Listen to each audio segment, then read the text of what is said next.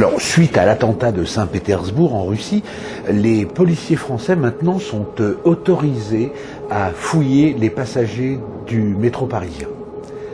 Alors c'est vrai que bon, bah, c'est rassurant, surtout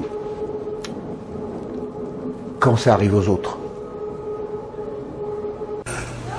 Hein me, me pencher et tousser? Bah, euh, Pourquoi faire?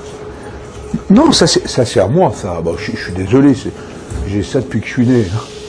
Mais, mes papiers? Bah, C'est vous qui les avez dans mes vêtements. Ils sont chiants.